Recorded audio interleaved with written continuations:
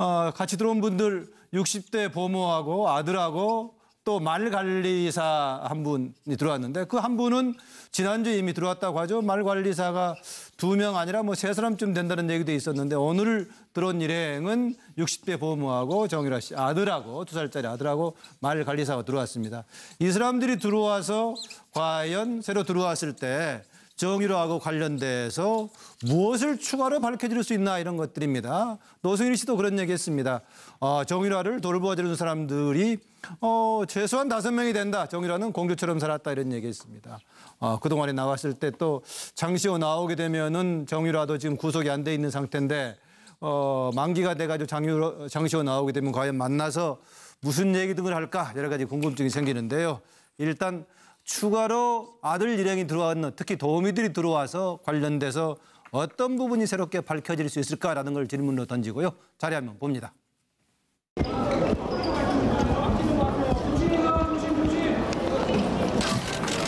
정유라 씨 도피 도운 거 맞습니까? 위험해 위험해 위험해 자 조심 조심 문 뒤에 조심 세종이 누가 지원해줬나요? 조심해서 뒤에 뒤에 문 문 문 문 국내 어디 거주하실 예정이십니까? 자 조심 조심 뒤에요 조심 조심 조심 지금 어디로 가시나요? 지금 어디로 가세요? 스톱 스톱 스톱 스톱 갑시다 스톱 갑시다 시험관 아이로 태어난 게 정유라고. 그래서 정유라가 생물학적 우리 아빠라고 표현하는 게 정자만 제공했다. 그 표현인 것 같고. 그럼 자랄 때는 별로 아버지로서 뭐 해준 게 없다는 뜻인가요? 본인에게? 자랄 왜 정이 왜 때는- 없지? 시험관 아기라고 해도 어쨌든 아버지 어머니잖아요. 예, 근데 자랄 때는 할머니 할아버지도 계셨고 그다음에 그 같이 일했던 그, 할, 그 아주머니가 계셨어요. 나이 드신 아주머니가 정유라를 어렸을 때부터 이제 키워주고. 돌봐주신 아- 아주머니가 독일까지 오신 걸로 알고 있거든요. 그분이 하시는 말씀이 어, 정유라는 어렸을 때부터 공주로 키워 살았다. 어, 제가 그 정유라가 다니면 다섯 명이 붙었대요. 집에서 일하는 사람이 다섯 명이 붙어서 어떻게 된 거야 도대체? 관리를 했다는 거죠. 엄청 예. 현지에서 생활하시는 고모분하고 아들분은 그 체류 비용을 어떻게 해결하시는 거죠? 그건 제가 모릅니다. 저는 계속 안에만 있어서 아기만 일주일에 몇 번씩. 본인의 변호사 비용도 포함해서 현지 체류 비용은 분명히 들어가는 부분이 있을 텐데요. 네, 그 내용에 대해서 전혀 모르시나요? 전혀 모르 예, 조력자들이 귀국을 했는데 정유라는 돈 처리 비용도 모른다라고 했는데 추가로 과연 어, 무엇이 밝혀질 수 있을까? 또 검찰은 무엇을 밝히려고 할까? 하는 얘기인데요. 정계환 의원.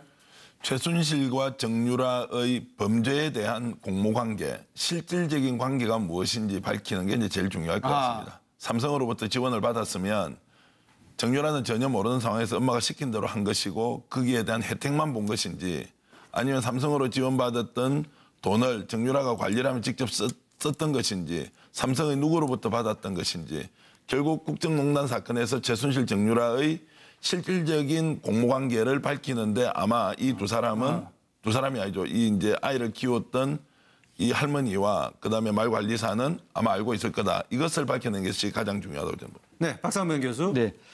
어, 두 사람한테는 일단은 보모한테는 도피 자금을 물어봐야 되는 거죠. 누구한테 받았느냐고. 통장에 있으면 어느 통장이냐고. 제일 중요하지 않습니까? 거기다 네. 더해서 현지에서 마지막으로 최수실 일가가 한국에 왔으면 어느 정도 청산을 하고 오지 않겠습니까? 자동차를 렌트했다든지 또는 뭐 변호사 비용이라든지 등등. 이건 어떻게 됐는지는 아무것도 증거도 안 하고 그냥 오지를 못했을 테니까 예. 그 부분은 상당 부분은 부모가 알고 있을 것 같고 말 관리사는 그거는 아닌 것 같아요. 말 관리사는 이제 말을 관리할 때 돈이 많이 들잖아요. 그 돈을 누구한테 받았죠? 그리고 그걸 말 관리하는 돈이 어디서 온 것이며 또 정유라가 말을 탈 때 말을 세탁을 했다는 말도 있었습니다. 아마 말 관리사가 제일 잘할 거예요. 이 내용은. 이것들을 물어봐야 되는 것이죠. 네. 따지고 보면은 이것이 이번에 뇌물죄의 핵심이기 때문에 두 사람은 참고인 신분으로도 빨리 좀 어, 검찰이 조사를 해야 될 것 같습니다. 네, 이재경 교수. 예, 이게 그 원래 돈을 따라가면 그 실체와 끝이 보이잖아요. 근데 이제 돈을 따라가면 되는데 지금 가장 검찰이 밝혀야 될 부분 중에는 이 사람들한테서는 사실은 그 독일, 덴마크 도피 생활의 도피 자금, 도피 자금이라고 규정해야 되겠죠. 범죄 혐의가 있기 때문에 이 자금의 출처를 밝히는 게 매우 중요합니다. 특히나 이 저 호화 도피 생활을 했다고 하는 것이 국내 막 언론을 통해서 많이 보도됐는데 이 자금의 출처를 알 수 있는 이게 돈을 집행했던 사람들이지 않습니까? 네. 그러니까 실제로 말 관리사 저 사람은 말 문제만 관리한 게 아니에요. 여러 가지로 굉장히 아마 끝까지 남아서 정유라 그 아마 그 모자를 뒤에서 도왔기 때문에 저 사람이 돈의 흐름을 굉장히 많이 알고 있을 것이다. 예. 보면은 어쩌면 단순 집행했던 사람에 불과하다. 이렇게 보이고 특히 전에 노승일 씨도 얘기를 했지만 세 명의 그 사람이 있었지 않습니까? 데이비드 윤, 데이비드 그리고 이 말 관리사 이씨 지금 귀국한 네. 사람 그리고 장남수라고 하는 이 세 명 중에 지금 말 관리사 이씨가 지금 조사가 안 됐어요. 근데 아마 이 부분을 통해서 그 정유라가 언급했던 이 퍼즐 맞추는데 검찰은 대개 이 자금 출처를 파편이라도 찾아내면 이 파편들을 모아서 퍼즐을 만들 완성시킬 수가 있을 굉장히 중요한 아마 단서를 이 사람들이 가지고 있을 개연성이 매우 높다. 이 점을 밝혀서 그 돈의 출처 그러니까 외화 도피 혐의를 입증하는데 굉장히 중요한 아마 저 그 참고인으로 이 사람들을 수사해야 된다. 이렇게. 예. 수상 수장 준비됐나요? 네. 저는 뭐 어렸을 때 우리 주변에 사는 얘기 있잖아요. 우리 집은 가난해요. 요리사도 가난하고 정원사도 가난하고 보모도 가난하고 말 관리사도 가난하다는 얘기 아하. 기억나시나요? 이런 예. 우스갯 까마귀가 왜 안 날죠? 네. 실패했습니다, 오늘은. 아무튼 그래서 제가 볼 때는 결국은 정유라가 가난한 집, 어려운 도피 생활을 하지 않았는 걸 입증해주는 두 사람이기 때문에 지금 말씀하신 대로 이 두 사람에 대해서 누구의 통장에서 어떤 돈이 지급되었는가를 보면 되는데요. 저는 아, 정유라가 할때 한국에 있는 돈을 회- 그 송금해 갔다고 한다면 그거는 어, 외환관리법 위반이겠지만 그게 아니라 미승 빌딩을 팔아서 그 돈을 빼돌리려다가 아, 실패한 걸로 보고 그 급히 매각이 안 됐지 않습니까? 따라서 뭉칫돈은 가지 않았을 것 같고 그렇다면 결국은 삼성이 코레스포츠에 지원한 돈을 가지고 아마 코레스포츠에 있는 돈을 정유라나 그 최순실이 썼을 가능성이 매우 높습니다. 예. 따라서 최순실의 삼성 뇌물 사건에 대한 혐의를 입증하는데 중요한 단서이기 때문에 그 부분에서 수사력을 집중해야 한다고 봅니다. 네. 이정근 실장. 어차피 뭐 다 말씀하셨지만 돈입니다. 돈의 흐름, 체류 비용 뭐 물어봤더니 모른다고 하지 않습니까? 그렇다면 이 돈이 가장 전 중요하다고 생각해요. 뭐 누가 아까 돈을 받고 쓰고 하는 모든 과정들을 이 사람들을 했을 텐데 이 사람들이 그러면 실질적인 집사냐? 저는 아닐 것 같아요. 저는 아. 확실하게 그 독일에서 계속 조력을 했다. 이 사람들이 뭐 독어를 잘한다거나 진짜 영어를 잘한다거나 독일 상어를 잘하거나 유럽을 잘하는 사람들이 아니에요. 덴 마크에 가서 저는 가장 유명한 로펌의 가장 유명한 변호사를 당일날 섭외할 수 있는 사람. 그 사람이 누구냐는 거죠. 바로 유럽을 가장 잘 아는 상황의 그 사람들이 바로 조력자들인데 이 사람들 지금 온 이 말관리사나 혹은 보모한테 이런 것들을 추궁을 하면 끝내는 실질적으로 도와준 그 이 유럽의 그 누군가 그 배우를 밝힐 수 있다고 봅니다. 네. 노영희 변호사 왜 맨 마지막에 시키는지 알죠? 모르겠는데요. 아까 자료 화면에 한번 목소리가 나왔기 때문에 맨 마지막에 지금 해주는 겁니다. 아, 그런 또 방송에 또 예, 예. 그 저는 부모가 실질적으로 그 돈의 출처나 이런 걸 많이 알까? 이건 조금 의문스러운 부분이 있- 있어요. 그렇지만 말, 마필 관리사는 많이 알 수 있을 것 같고요. 우리가 여름만 되면 항상 생각나는 그 엽기 호러물이 있지 않습니까? 음. 나는 네가 지난 여름에 한 일을 알고 있다. 혹시 친구들이 노 변호사한테 그런 얘기 안 했어요? 저보고요? 네. 그런 얘기 안 하던데. 까까 봅니다. 어, 상당히 당황스럽습니다. 어쨌든 근데 이번에도 아마도 그 당신들이 지난 250일 동안 도피 생활하면서 사용한 돈에 대해서 우리는 알고 있다라고 검찰이 물어보게 되면 예. 아마 자기도 모르게 여러 가지 것들에 대해서 단서를 제공하지 않을까 생각합니다. 네. 여기까지 듣고요. 아까 어, 장시호 어, 씨가 이제 오늘 이제 만기가 돼가지고 출소하게 되면은 둘이 만나게 된다는데 어, 이 질문을 던집니다. 정이라도 구속영장 실질심사에서 이제 기각이 된 상태이기 때문에 둘이 만나게 되면은 무슨 얘기할까라는 질문을 던지고 자료화면 보면서 패널들 준비해 주시죠. 자, 장시호 정인 마스크 내리세요. 왜 마스크를 올리겠어요? 선서 본인은 국회가 실시하는 장시호 정인, 제가 미우시죠? 네 이모를 잘못 만난 운명이라고 생각을 하십시오. 네, 개인적으로 저를 미워하지는 마십시오. 꼭 뵙고 싶었습니다. 연세대학교 어떻게 입학했습니까? 승마 특기생으로 입학했습니다. 그 본인의 실력으로 입학했다고 생각하고 있습니까? 지금도? 네, 저는 최순실 씨가 지시를 하면 또 따라야 되는 입장이고 네. 또 이모인데다가 뭐 거슬릴 수그 오늘 증거인멸 뭐 좀 시도했다라는 기사 보도도 나왔는데요.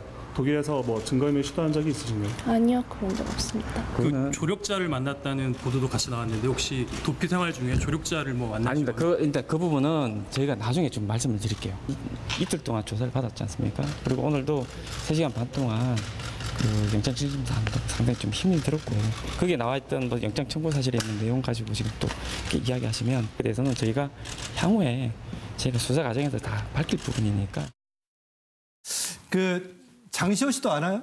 어, 장시호 씨는 모릅니다, 제가. 아 그렇군요. 왜 제가 그 장시호 씨가 내일 이제 구속 만기가 돼가 내일 석방이 되는데 네, 네. 그 상당히 비슷한 것 같으면서 다르다는 얘기가 있어요. 우선 교도관들이라든가 검찰에 대해서 또 스스럼 없이 웃으면서 얘기하는 것은 장시호든 정의라든 이제 비슷한 것 같은데. 네, 맞습니다. 어 그동안에 장시호는 오히려 지금 검찰 수사에 상당히 적 협력하는 쪽 아니었습니까? 그렇죠. 예, 제2의 태블릿 PC도 갖다 주고 있는데. 네, 네. 네. 뭐 준비하셨습니까? 두 사람이 만나게 되면 무슨 얘기를 할까? 아, 이정우 실장 먼저 편말 올렸습니다. 예, 제, 제, 제 거부터 할까요? 네. 아, 사실 많은 사람들이 이렇게 생각할 겁니다. 아, 원, 그러니까 이제는 한만 남은 관계가 아니냐. 예를 들어서 정유라 씨는 어떻게 언니가 뭐 우리를 배반할 수 있어. 뭐 이런 식의 어떤 이야기가 오고 갈 거라고 다들 생각을 하실 텐데 이 두 사람 정말 사차원입니다. 진짜 어떤 얘기를 그렇게 뭐 만나서 정말로 리얼하게 이렇게 다툴 거라고 저는 생각 안 해요. 딱 지금 정유라 씨는 언니한테 이렇게 얘기할 겁니다. 구치소 생활은 어땠어? 그러니까 자기도 어떻게든 구치소에 갈지도 모르고 그 구치소라는 전혀 자기가 알 수 없는 세상에 대해서 물어봤을 테고 어, 장시호도 사실 뭐 나와서 뭐 도움이 어- 이런 어떤 호칭이 뭐 천사 이런 호칭이 있지만 어쨌든 목적한 대로 석방이 되는 거거든요. 예. 장소는 목, 목적이 석방이었어요. 아들도 보고 그러면 그렇다고 해서 뭐 끝까지 최순실에 대해서 뭐 적대감을 갖고 있다? 저는 이렇게 생각하지 않습니다. 그래서 음. 아주 개인적인 이야기들 뭐 아, 덴마크 마지막 도피 생활은 어땠는지 구시소는 어땠는지 그렇게 진짜 사담을 나누는 그런 관계라고 저는 생각합니다. 예, 노영희 변호사 받아주시죠. 그 사천 이런 얘기는 좀 위험한 발언인 것 같아서 그 말씀드리면은요, 예, 그 말씀에 제가 동의합니다. 이 두 분의 캐릭터가 사실 독특하기 때문에 그런 거에 개의치 않고 그냥 또 쾌활하게 만나서 얘기를 나눌 가능성도 사실 있다고 보고요. 예. 또 이제 그것하고 별개로 둘다 뭐 특별히 지금 만나서 해야 될 것들이 없기 때문에 그냥 너는 너대로 나는 나대로 이렇게 그냥 각자의 생활을 가고 갈지 않을까 해서 좀 합니다. 네, 이정현 교수. 네, 이 두 사람 되게 친했다는 걸로 알려져 있지 않습니까? 그 정유라가 아기 낳을 때가 2015년 5월 8일로 날짜를 기억. 저는 네. 그렇게 본다 기억하는데 그때 그 집을 제주도 집을 장시호 씨 이름으로 이게 장시호 씨가 구해주는 음. 걸로 그렇게 그런 정도로 가깝지 않습니까? 그런데 이제 뭐 아무리 가까워도 현실은 현실이니까 아마 정유라가 모든 걸 파악했을 거예요. 이미 파악했는데도 몰랐다 했을 수도 있고 국내에 들어와서 더 자세히 봤을 텐데 아마 집에 TV는 있었을 거고 그러면 아마 언니는 배신자야라고 아마 그런 마음속의 생각을 가질 거고 또 장시호는 그 우리라도 살자 뭐 이런 식의 이제 얘기를 할 가능성이 있다고 보이는데 저는 이 가정법인데 네. 한동안 제가 보기에 두 사람은 만날 가능성은 거의 없다고 아하, 보여집니다. 사실은 현실적으로 만나기 어려운 겁니다. 어, 만남 자체가 당장은 이루어지지 뭐 속으로 저렇게. 생각할 거다. 저는 그렇게 이제 아, 그래서 점점점 생각으로 지금 표시를 했거든요. 예, 박상병 교수. 네, 어, 이재기 교수가 얘기한 거하고 비슷합니다. 그래서 제가 바로 받았는데 두 사람이 당분간 뭐 만나서 이런저런 얘기 나누기는 어렵습니다만 그러나 우리가 이제 재미있게 상상을 해보기 위해서 두 사람이 만나면은 무슨 얘기를 할까? 우리 제작팀에서 친절하게 설명을 했는데도 불구하고 패널들은 호응을 안 하고 있는 것이 지금 문제가 있는 것 같습니다. 자, 내용은 두 사람 다 사실 고단수입니다. 정유라 고단수입니다. 장시호 더 고단수예요. 한쪽은 진짜 모른다? 천만의 말씀이죠. 한쪽은 정말 특검에만 협조한다? 천만의 말씀이죠. 상당한 고단수입니다. 그 두 사람이 만났습니다, 이제. 아마 정유라는 배신감 들 거예요. 언니 또는 시호 씨, 그럴 수 있어요? 딱 물을 거예요. 예. 그러면은 장시호는 자기도 알지만은 그러나 이 상황이 어떤 상황인지를 정확하게 알고 있는 사람이에요. 야, 유라야, 끝났어. 정신 차려. 라고 하는 얘기를 할 가능성이 높다. 그렇게 해서 읽혔습니다. 네. 정기환 의원. 저는 아무리 친한 가족 관계라도 돈과 권력 앞에서 인간은 저렇게 남남이 된다. 심지어 원수지간까지 된다. 그런데 사촌지간은 오죽하겠습니까? 예. 또그 돈을 모으는 방법이 부정한 방법으로 국정농단을 통해서 얻었다면 그것이야말로 원수가 되기 십상이죠. 그러고 난 뒤에 저 두 사람이 만났습니다. 한 사람은 감옥살이 하다가 나왔고 한, 사, 한 사람은 구치소에 갔다가 나왔는데 예. 아마 회, 회환이 될 겁니다. 그래서 한 사람은 정말 피는 물보다 진한 것이 아니라 피는 물보다 더 흐릿하고 탁하다고. 아하. 그래서 정말 장시호가 나쁜 사람이라고 생각할 것이고요. 장시호도 똑같이 자기는 18억 여 원을 챙겼지만 180을 챙겼는지 1,800억을 챙겼는지 모를 정도로 너무너무 많이 해먹은 자신의 이모와 거기에 최대 수요, 수혜자인 정유라를 보면서 정말 너희들은 상상 초월이어서 정말 범죄자야 이렇게 생각하면서 서로를 헐뜯을 것이다 저는 그렇게 생각합니다. 네, 세강호 소장. 네. 원래 호랑이 없으면 고양이가 이제 왕이라고요. 아마도 최순실 없는 곳에서 그래도 아무리 친하지만 서열을 정해야 되지 않겠습니까? 그래서 제가 볼 때 서로 넘버 투라고 하면서 아, 실제로 최순실과의 마지막 숙명의 라이벌 서열 정리에 들어갈 것 같다는 생각이 듭니다. 왜? 범죄는 짧고 어, 패밀리는 기니까요. 네,